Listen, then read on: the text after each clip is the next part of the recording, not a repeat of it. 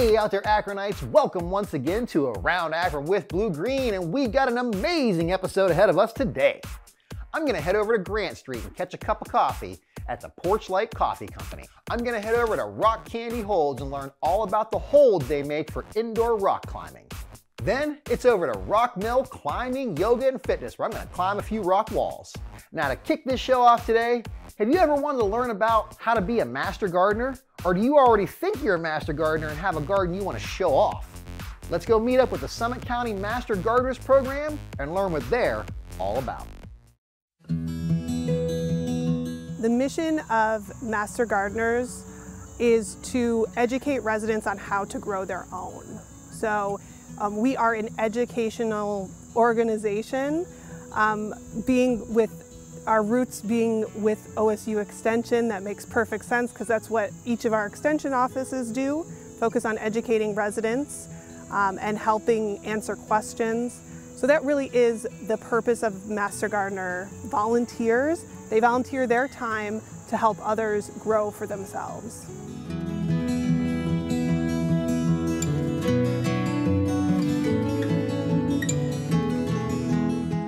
Master Gardener program, it's been going on for quite a long time. Since the 70s is when kind of the Master Gardener program got its start. And Ohio's Master Gardener program has been um, active almost that entire time as well. So it is a, a very long-term um, volunteer program that is statewide um, in Ohio through Ohio, the Ohio State University.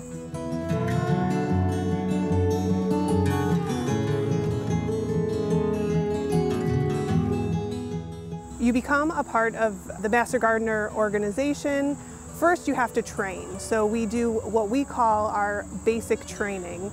You take a, it's a 12-week course where you train, usually an evening where when we hold our classes, but you you do about 50 hours of classroom training, which leads into your, your intern year. So first you do the training, and then after that, you have an intern year where you're responsible for 50 volunteer hours. So it's the 50 hours of classroom training, the 50 hours of uh, volunteer time, and then that allows you to kind of graduate as a full-fledged master gardener and part of the program. There is no age range at all. So we are welcoming young people to come into the program all the time. We do tend to have more people who are retired, so have a lot of time on their hands and have that time to volunteer. But really we have members that span all of our demographics.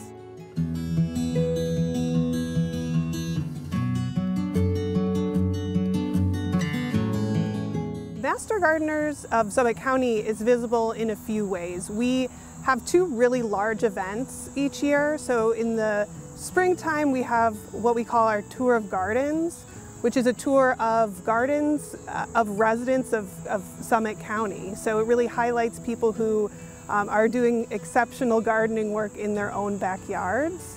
And that event is, is really well attended and I encourage anyone to join that. And then our second really large event is Design and Beyond, which is coming up here soon. And this is more of a kind of educational seminar event for learning. Those are two of our really high profile events. And then throughout the year, you can see us, we have educational events throughout the year. Um, you can get on our email mailing list to be aware of those. Um, but we also have physical demonstration gardens. So we have a garden that I'm sitting right next to right now, and we have a couple other gardens that focus on different things. So some of them focus on ornamental plants, like the one I'm next to right now. Some of them focus on vegetable gardening, and some of them have other focuses like youth. So you can see us in the community in, in a variety of ways, but we really thrive at education. That's our mission and that's our purpose.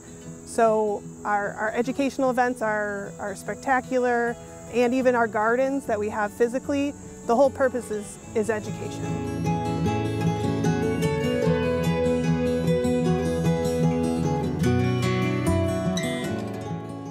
So the tour of gardens that takes place in the spring, it actually is um, highlighting resident gardens. So you don't have to be a master gardener to participate and be kind of highlighted in that event. Really, that's the hardest part about planning that event is finding these like special, spectacular gems of gardens.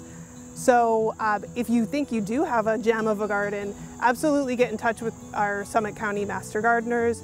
We're always looking for new gardens to put on the tour. That makes our job easy if you, if you come to us and say, I really want to highlight my garden, I've worked really hard on it. So folks, you can always reach out at our website. We've got contact information there. Or you can contact the local OSU Extension office, which is home base for Master Gardeners as well.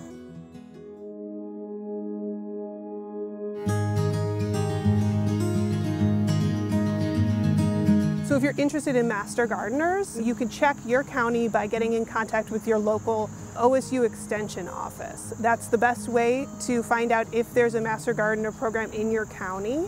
And if there's not one in your county, there should be one that's nearby. So sometimes counties with lower populations will kind of join together to create a program together. So start by contacting your extension office, your local county extension office, and they should be able to give you more information on what's available.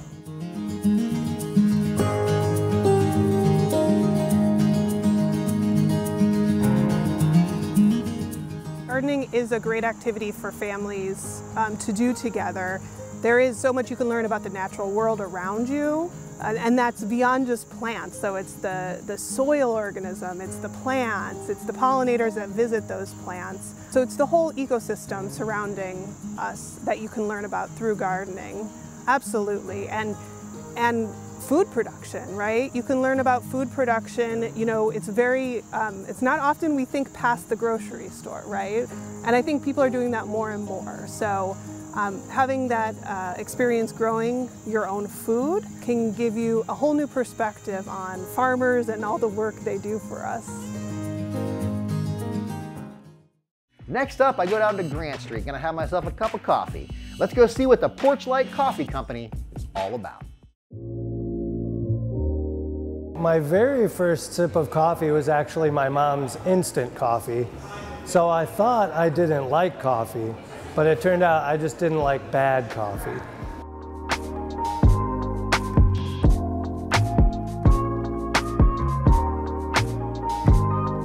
I've always been kind of a foodie and just like a lover of like details. So I think that was like my big thing was just I'm a little bit of a nerd and I love food. So that pairs really well with coffee. And as the coffee world has developed, there's been more of a focus on like notes of the coffee bean and more of the like precision it takes to like grow and prepare good quality coffee and I've just really embraced that.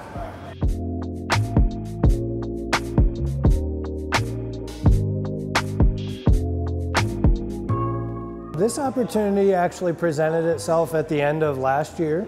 Um, some good friends of ours and our business partners came to us and kind of brought this opportunity to us. They had heard about this space opening up.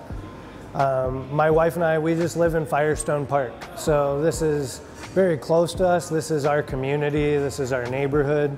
So with this opportunity opening up and the fact that it was the ability to bring some like great coffee to the area and um, also this space, it used to be called the Front Porch Cafe and it was just like a great hub of conversation and just like a really great gathering place. So we were excited to be able to like bring that back to the neighborhood again. Um, so when we were opening Porchlight, we just wanted it to be a place of hospitality and welcome, and also just the opportunity to serve great food and drink.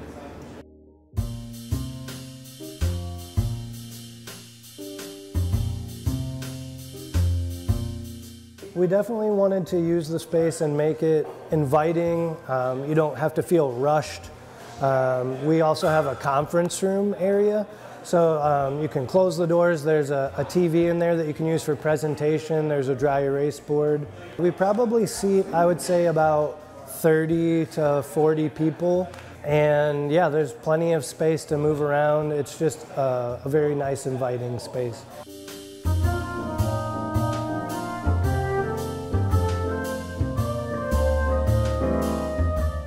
One of our missions with uh, Porchlight was to invite people into the space, but also to raise people's coffee knowledge without pretentiousness.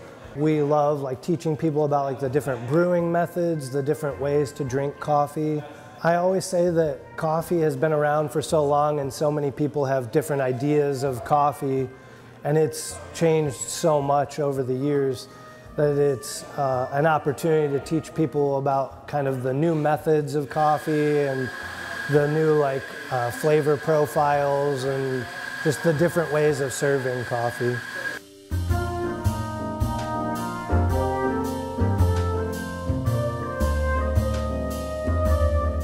So we actually get our coffee from One Line Coffee Roasters, and they are in Columbus. So my wife and I, um, we love going down to Columbus and just getting great food and coffee. And they've always been our favorite roaster. So when we were getting ready to open this space, we were tasting some different um, coffee roasters, and they were kind of at the top of our list. And after talking to them, their customer service has just been outstanding. And they also have direct trade relationships with all of their farmers.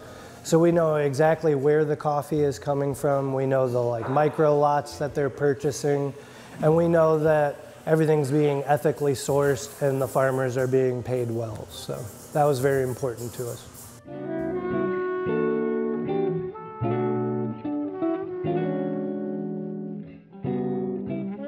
We do make all of our syrups in-house. So I think that makes a big difference. Um, we use like raw organic cane sugar, high quality flavor extracts. So everything is made from scratch. So we can tweak the syrups and make them so that they like fit our drinks perfectly. For instance, like our, our pumpkin syrup that we just finished making, everyone loves their pumpkin lattes. Um, it has actual pumpkin puree. It has that like raw organic cane sugar and it has just like um, pumpkin spice mix that we made here in house. So it's a true pumpkin spice syrup.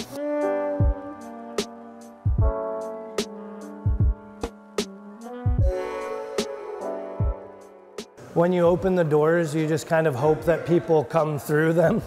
And uh, you hope that it's not just your mom and your siblings, you know? And uh, it's been really cool to just see the business that has come in, to see the support from the community, people just like passing through the state and finding us.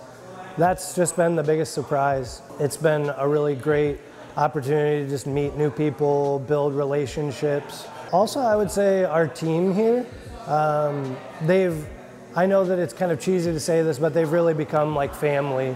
They really resonate with like our mission here at Porchlight and they've just embraced the love of coffee and love of people, and it's been really great to see that grow.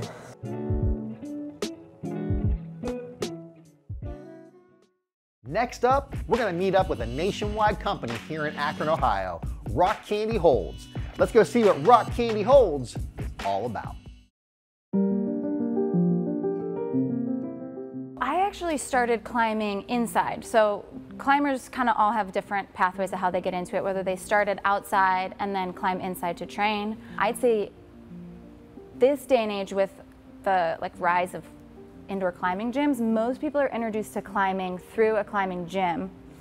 Then they may or may not move to the outdoor thing. I started climbing in probably about 2004 at uh, my, the university climbing wall where I was uh, working and going to school at the time. And I just fell in love with it because it was something I could do year round. You know, it wasn't dependent on the weather and it didn't really feel like working out. It just felt like having fun with my friends. And that's where I actually met Nathan, who we eventually got married and started a climbing hold brand called Rock Candy Holds, which actually most of what you see on the wall behind me is um, his product. And we started that in 2006 uh, actually in when we were in Kent out of a little little garage climbing wall that we had. And so that's kind of how all this started. So he was a climber, I met him through climbing.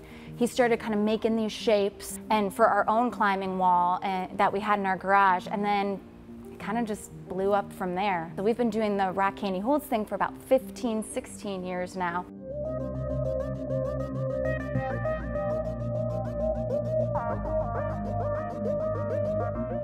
So actually it was in 2005, like I said, when we built this garage wall in Kent, um, just for us and our friends to climb on. He wasn't finding what he wanted on the market, so he just started making his own climbing holds. He wanted bright colors, cool shapes. At the time, really all that you could buy was stuff that just kind of mimicked real rock. And as you see, it, this doesn't mimic real rock. We're, we're going for, you know, bright colors and exciting experience. But anyways, so yeah, he started just shaping and it's he's an art major so you know the whole 3d sculpture thing came a little bit more easy to him and so he started shaping the holds and making molds and making his own holds. It all rhymes. So yeah that was back in 2005 we made it a business in 2006 2007 and it just grew kind of slowly and organically from there and he was yeah he was actually producing his own holds in a warehouse we had in kenmore.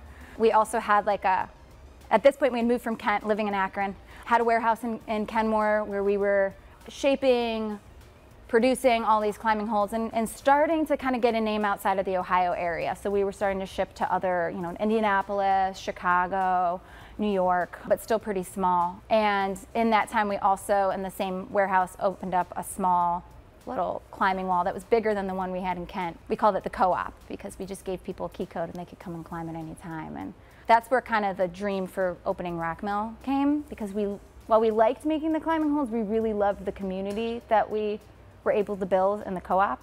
And it was a small space, a dirty space, but people loved it and it really like drew a lot of people to the sport and it gave the climbers in the area kind of like a, a home base they would come and climb at the co-op and plan trips to go West Virginia, Kentucky, or even just some of the local spots around here. So that's where the idea for when we had to shut that down, which was just a, a product of rock candy growing. So rock candy was growing, we needed more space to, to produce the climbing holds. So we had to kind of take over that portion of the warehouse. And when we shut that down, we said, let's do this again, but do it right was definitely not right in that space, but uh, it, was, it was good for the time.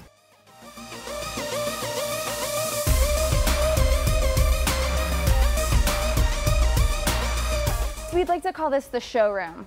We don't actually make the holds in this facility. We did back when we had this the warehouse in Kenmore, but it, we quickly outgrew that space even after closing down the co-op ended up outsourcing production for a while, but then brought it back to Ohio about four years ago. We have two warehouses, one in Strasburg, south of Canton, and one in Uniontown, kind of serve two different purposes. And yeah, so that, I mean, Rock Candy, the story of Rock Candy really is like how Rock Mill came to be. And yeah, this the idea of this was this could be our showroom, it could be where we test new products, um, but then at the same time get to have that community hub that we had back in the day with the co-op.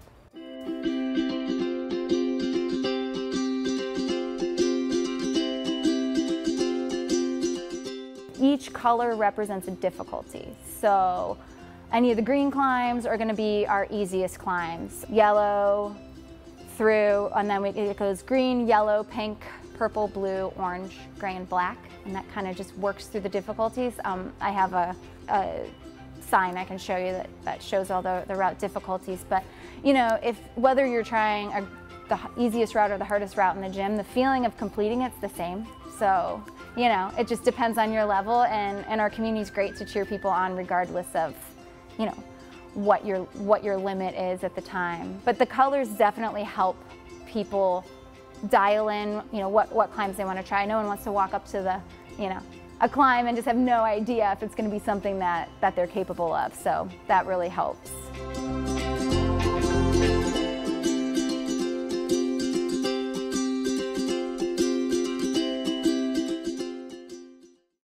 Next up, I'm gonna head down to Rock Mill Climbing, Yoga, and Fitness and climb me a few indoor rock climbing walls. Let's go see what they're all about.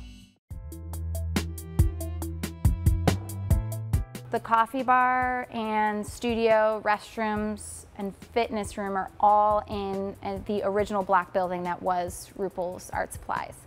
We were interested in this space because along with the existing black building, which was around 6,000 square feet, it came with over an acre of just vacant land next to it, which now is what we're sitting in as our climbing hall. We went through the process of renovating the existing space and then also adding this addition on.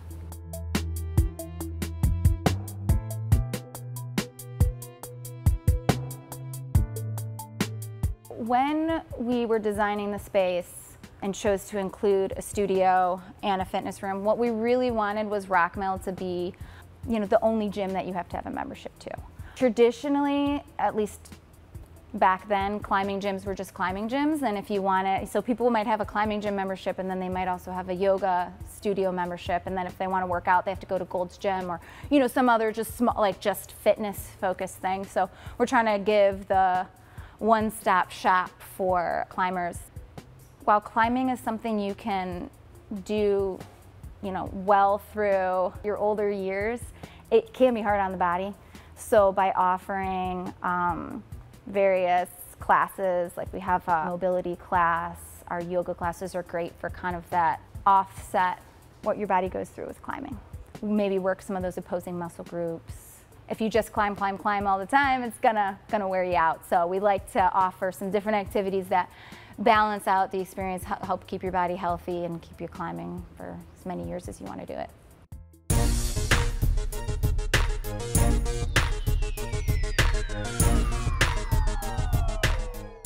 We're one of the smaller gyms. Yeah. Um, for the amount of bouldering that we have, I'd say we're one of, you know, up there in terms of the, the bouldering space that we have in Northeastern Ohio, but mid-size for our area, but definitely you go out west, we'd, we'd be considered a small bouldering gym. So it's a really easy activity just to get started in. You don't need any specialized equipment. Just come in comfortable clothes, maybe bring a water bottle. If you forget it, we've got plenty of snacks and drinks here. You'd come on in, uh, our staff would walk you through filling out our facility agreement form. We've got an orientation video. They'd walk you through the space, give you a tour, and drop you off over at our shoe rental spot. Um, it's self-serve. You'd find a pair of climbing shoes that fit you, and then you'd get started. Our staff are really great about checking in with new climbers, seeing if they have any questions, um, helping them out if they're stuck on a climb. We also have a introductory class called Bouldering One that we run on Saturdays. So if someone wanted like a more hands-on introduction to it, they could sign up for one of those classes. But in general, I'd say most people just come on in and yeah, I mean, as long as you're in comfortable clothes, you could walk in off the street and start climbing.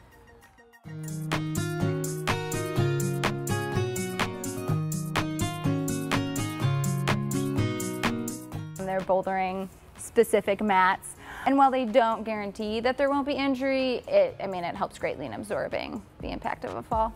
You really, as you get, if you were to start climbing, you know, at first the idea of falling is, is kind of, kind of you know, something you don't want to do, but you'll see once people are in here, the point, you're falling 90% of the time because you, are to find that limit um, and to find the place where you're going to grow and progress. Like you might try a climb 10, 15, 20, 30 times before you figure out your specific sequence.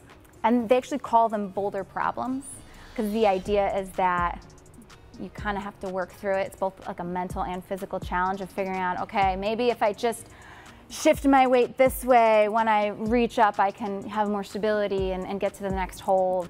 So it's really just a great, yeah, mental and physical challenge and then just with the falling, mitigating that risk, right? When you're in a position where you're not too sure about it, you know, you got to make a decision. Am I going to go for it or am I going to back off? And, and, neither decision is right or wrong. You know, it all, it all depends on where you're at. But it's just a great, uh, a great way to, to kind of get over some of those fears and work through them. Um, and the community's great. Everybody, they'll cheer you on whether you're trying one of the hardest climbs or one of the easiest climbs.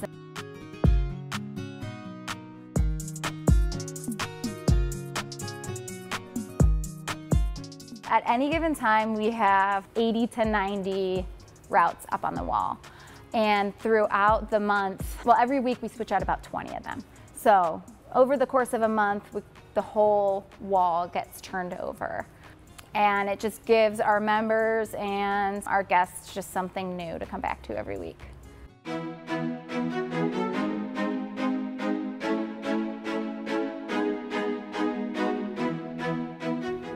As most businesses did in, you know, summer of 2020, we reopened after being shut down for the pandemic.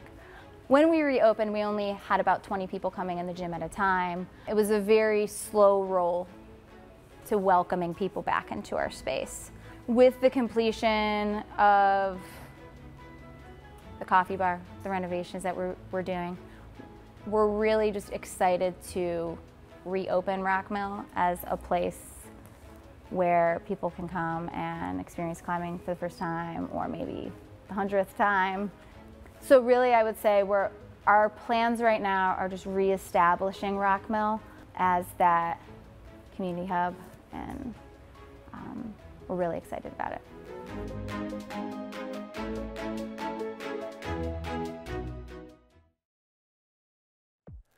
Thank you once again for watching this episode of Around Akron with Blue Green. Now, if you have any questions, comments, just want to drop me an email, you can reach me at www.aroundakronwithbluegreen.com or you can catch me on social media. Thank you and have an amazing day.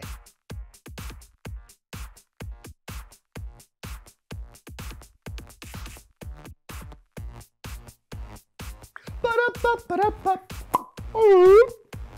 Boop, beep, beep, beep.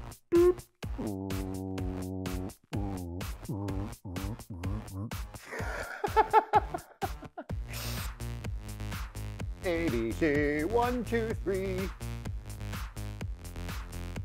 One, two, three, one, two, three.